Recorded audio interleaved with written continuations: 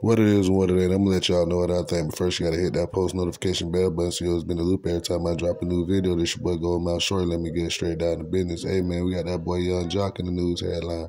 It's looking like that Atlanta rapper sent the wrong person eighteen hundred dollars over the weekend on Zelle, and he been trying to get his money back, but apparently whoever he sent that money to, they didn't. uh they didn't send it back and they blocked him, you know what I mean?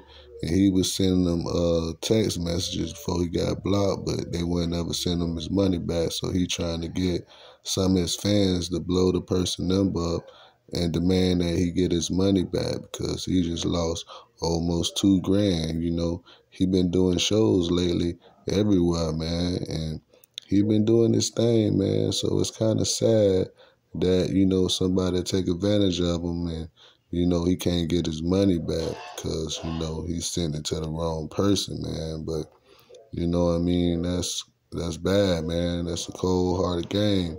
You know what I mean? It probably was a cut for his management or something, for their part of their money for a show or something, man.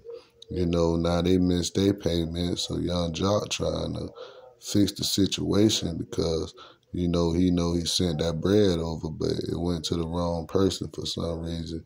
And I know he probably not lying because something like that happened to me with Cash App. You know what I mean?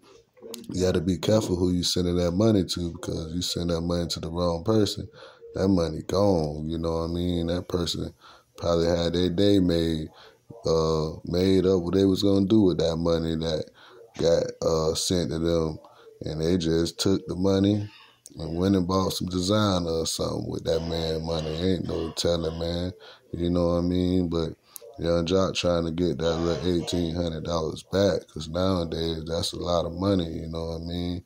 You can pay rent with that or something. You know what I mean? So I don't know, man. Will he ever get his money back? But he got the number up, and you know the post going viral. So whoever took that money, man, they need to go ahead and cough it up you know, he might let them keep the money or give them more money for turning that money in. But I believe the thieves, they ain't going to turn no money in.